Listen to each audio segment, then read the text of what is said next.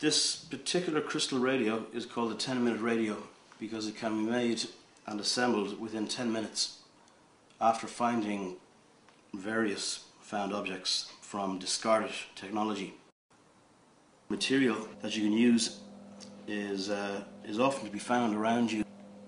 What I'm holding here in my hand was once the internal parts of a regular radio and it was just dumped.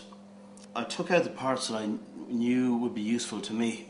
What I was left with was two things. This black uh, piece of metal is called a ferrite rod. It's a rod of metal that's very, very heavily treated with iron, so it's going to attract a lot of elect electrons. This plastic unit, which you uh, you can see there's parts moving inside it as I'm turning the dial, that's, that is called a variable capacitor. In regular terms, it simply is the tuning device on radio.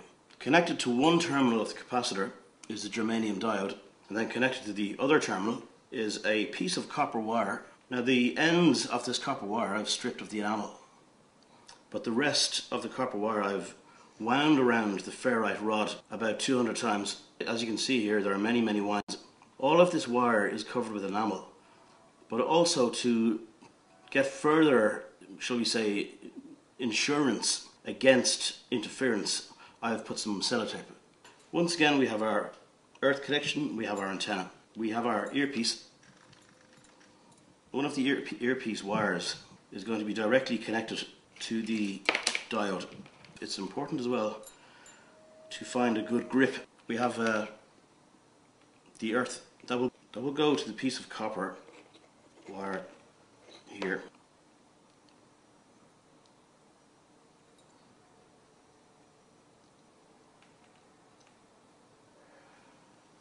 Then we have our antenna, which is very important.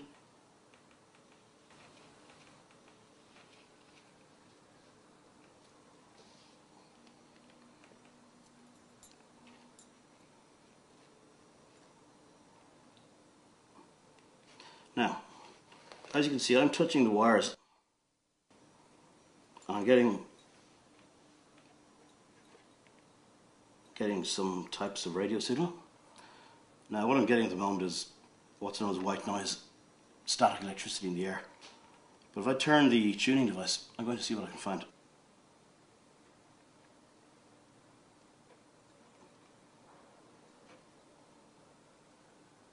Now because we're in a built up area, obviously the signal is very faint.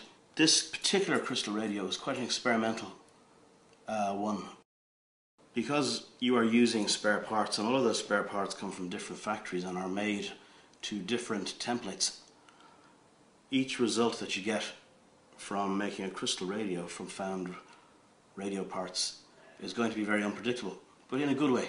What we have now here is the antenna or the aerial is connected, it goes through that and then it reaches this terminal on the capacitor. It is processed, the electrons are processed by the diode and they are brought in here. But in order to get a clear signal, we also need to draw away interference or uh, stuff that we just don't want, you know, so that the unwanted signals go down through here, this wire, and they go out and they connect to the grounding or the earthing as it's called.